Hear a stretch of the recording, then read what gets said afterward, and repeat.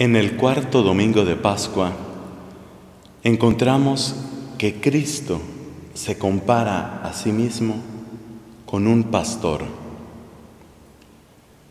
El nombre mismo de pastor indica su principal cuidado, dar el alimento, dar el pasto a las ovejas.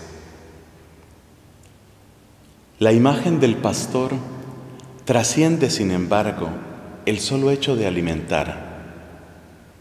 Alimentar es dar vida, pero el buen pastor no solo da vida, sino que da la vida por las ovejas.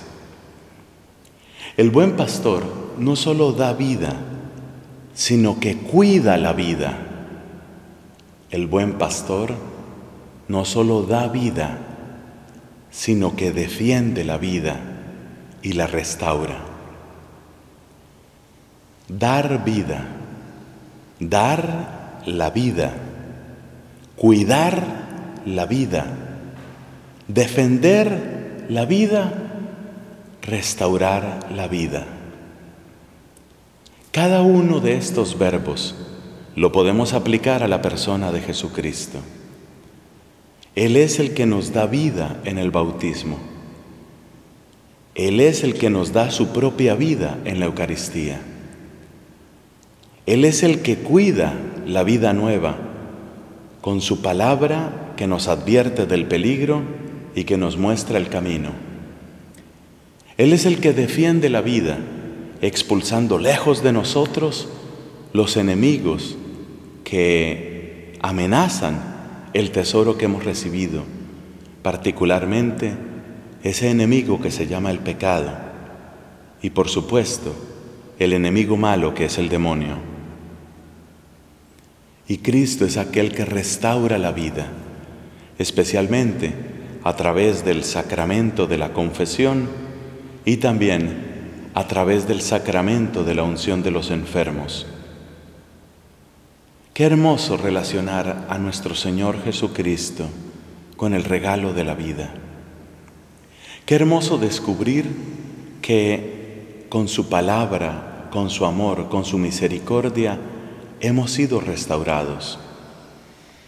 Cada uno de nosotros tiene el derecho de verse a sí mismo como una obra del amor de Dios. Si admiramos las cascadas y los atardeceres y la hermosura de los pájaros, si admiramos aquellos peces que, como dice el Salmo, trazan sendas por las aguas, ¿qué es lo que admiramos en esas obras de la naturaleza? Admiramos la presencia del Creador, pues cada uno de nosotros lleva la marca preciosa de ese que es el Redentor. Cada uno de nosotros lleva el sello de la salvación y lleva el sello del Salvador. Mira, mira cuánto le has costado a Dios. Mira entonces cuánto vale tu vida. Y mira entonces cuánto importa que seas sensible a la voz del pastor, el que da, el que cuida, el que defiende, el que restaura tu vida. A Él el honor y la alabanza por los siglos de los siglos. Amén.